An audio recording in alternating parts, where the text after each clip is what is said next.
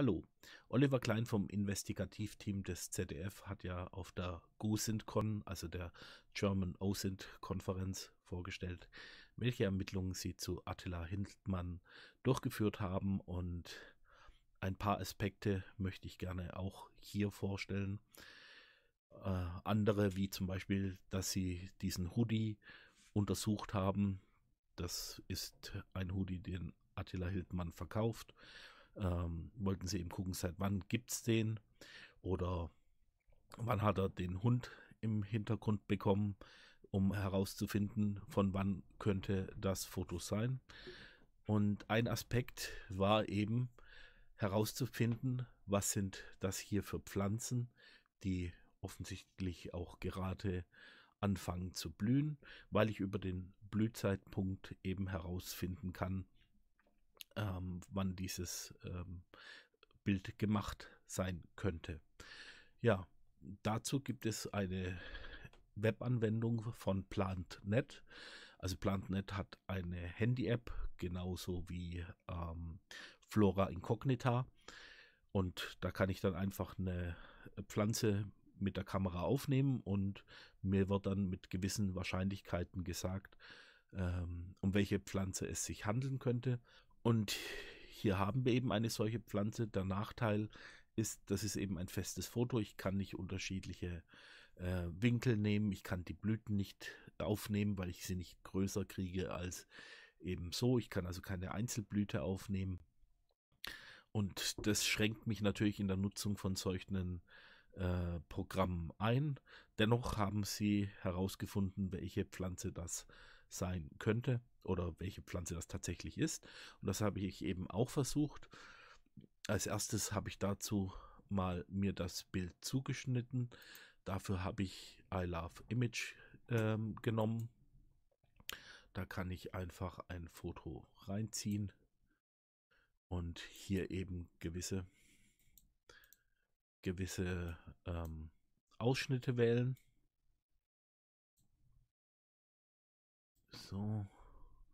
Beispiel so und mache dann einfach ein Crop Image und einmal Download und dann habe ich da eben diese, diesen Ausschnitt. Und diese Ausschnitte kann ich jetzt in PlantNet ausprobieren und zum Beispiel eben dieses hier, was ich schon vorbereitet habe. Und dann wird mir hier eben angeboten, was es sein könnte. Und es handelt sich dabei tatsächlich um den ästigen Aphodil, der eine Blüte hat, so im März.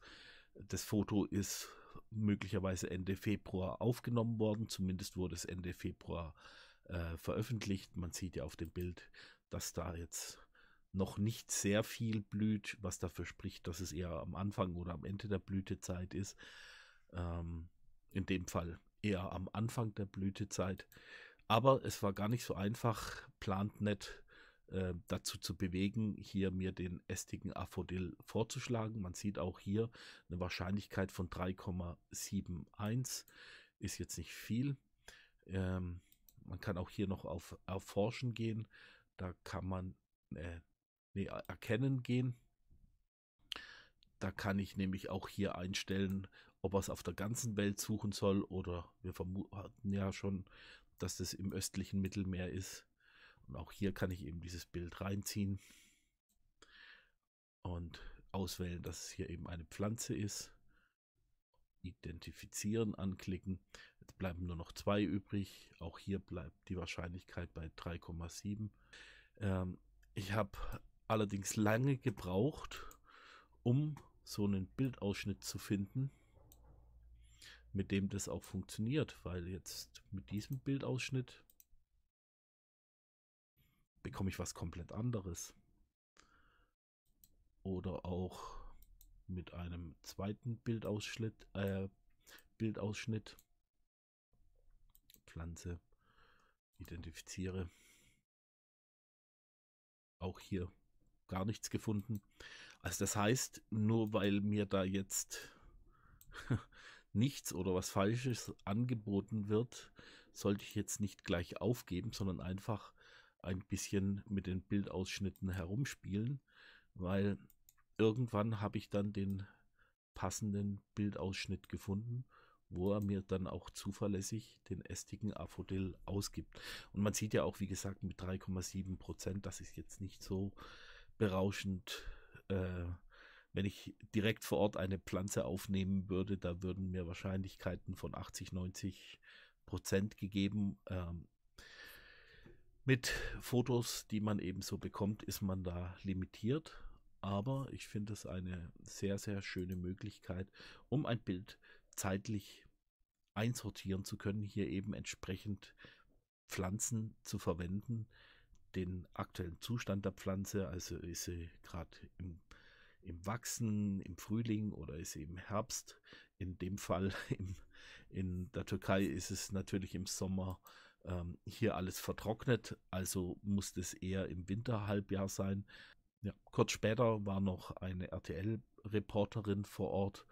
Da sieht man dann, dass hier wesentlich mehr in Blüte steht. Auch das spricht dann eben dafür, dass unsere Einschätzung, dass das äh, ja, Ende Februar tatsächlich passt, dieser Zeitraum, wo er auch das Bild gepostet hat, ähm, äh, die wird dadurch im Endeffekt bestätigt. Okay, das war's für heute schon wieder. Macht's gut. Ciao, ciao.